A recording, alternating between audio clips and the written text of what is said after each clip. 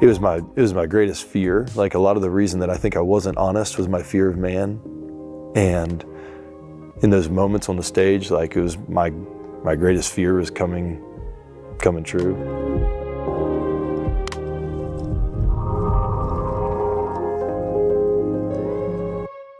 Tell us how you met your wife, Carrie. Yeah, so after I became a Christian, I went to um, went to Panama City Beach, Florida, for a spring break thing, and I I went down there and I was kind of riding the fence a little bit and tried to do some of my old sinning and this kind of stuff. And the Lord used a number of people to uh, from from Cru um, and uh, a couple other ministries to minister to me at that time. Came back the the next year and uh, they have this thing called um, Beach Reach. So we would go for the, the week and share with people, uh, share gospel with people.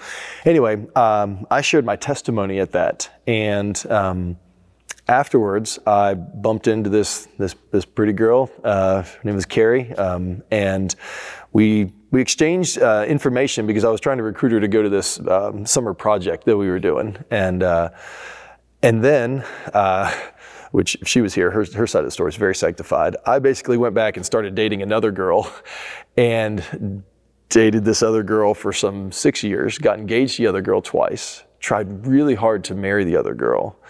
And it was kind of like what God did when I met Carrie was like, here, get her information. You're too stupid to be able to have this relationship now. We've got some stuff we got to work on with you.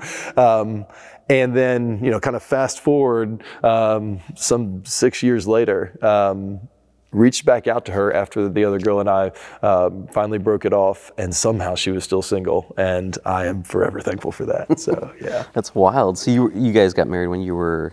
I was 29. 29, okay. Yeah, which good. was a bit later than I, I, I personally desired to. Um, and, you know, but God's timing was, was perfect for a lot of reasons.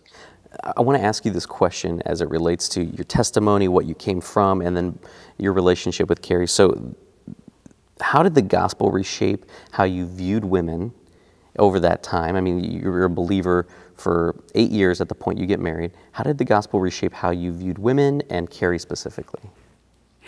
Yeah, my, my life before Christ, um, I, you know, in one sense, respected women. My, my parents taught me well to respect women, but in a, another sense, I very much did not. I, yeah, had a lot of relationships that, that just used people in ways that was not honoring to them, honoring to the Lord, and uh, you know, you live that way for a long time, and then and then you become a Christian, and not everything changes immediately. So there was some some growth that happened to ha- had to happen.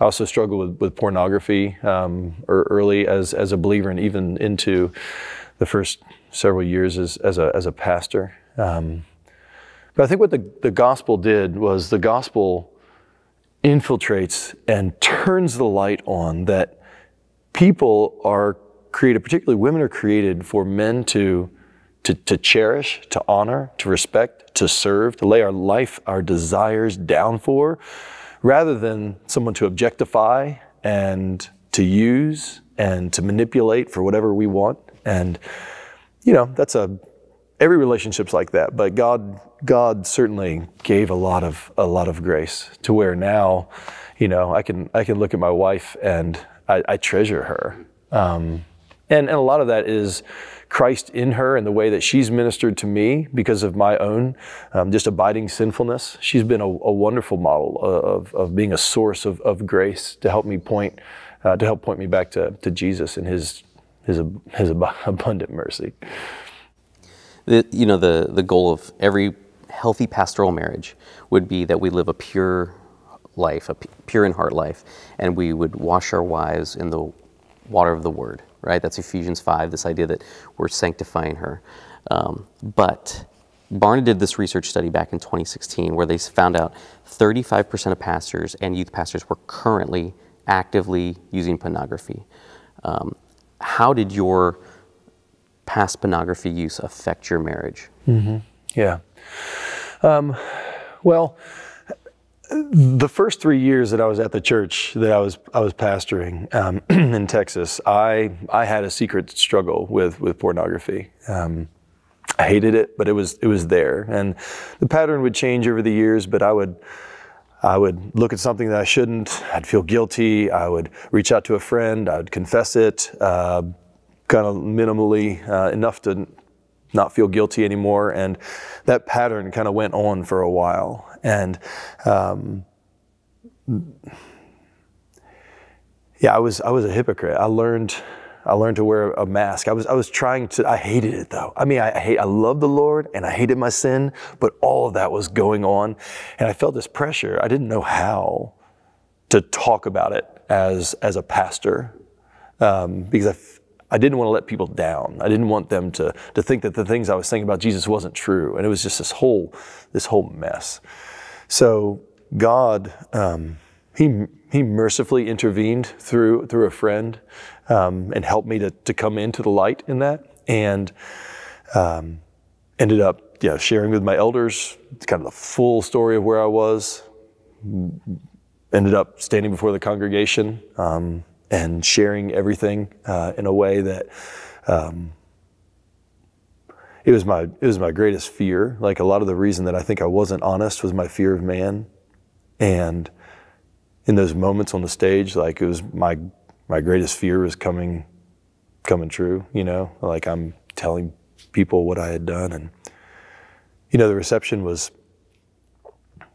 some people um, walked out of church and have never walked in a church again because I had been a hypocrite and had confused them about God, and that's that's a weighty thing, you know.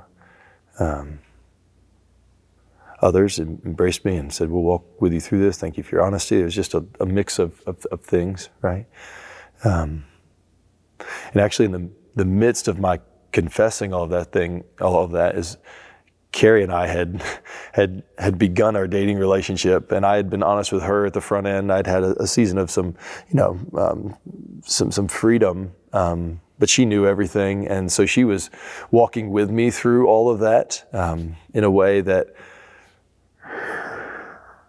her kindness and um, yeah, she gospeled me. Like she just kept reminding me that there's no condemnation for those who are in Christ. You know that you're you're walking the light now. You're aiming to to fight against these things. Um, and so, yeah, in a lot of ways, she's washing me with the word. You know, and, and encouraging me with with gospel truth. And then you know, we're, we're helping each other. I'm reminding her, like, listen, God can, God deals with, with honesty. He can deal with that. We can trust Him. He's going to, to make, um, He's going to make the path clear for us. We can, we can trust Him. So in the midst of all that, we were helping each other with the Word. And so our, the early part of our relationship was really forged in a fire, as it were. Um, there was a lot of, a lot of difficult things in those, those days, but God um, gave grace and He, He helped us. Um, and, you know, I found in her we, we a, a, safe place to be able to to be honest about abiding temptations and those kinds of things. So that that was a huge help for me to to have guy friends that I was I learned how to confess with. I learned how to live in a gospel community where I was honest and transparent about temptations, about struggles, about any compromises, and I was able to to have that same kind of conversation with with Carrie in a way that was life giving. Um, I didn't feel like I had to have secrets and all that kind of stuff. And the Lord really used that, I think, to to help our oneness um, and to um, it, it it brought for me the seriousness of pornography, like face to face.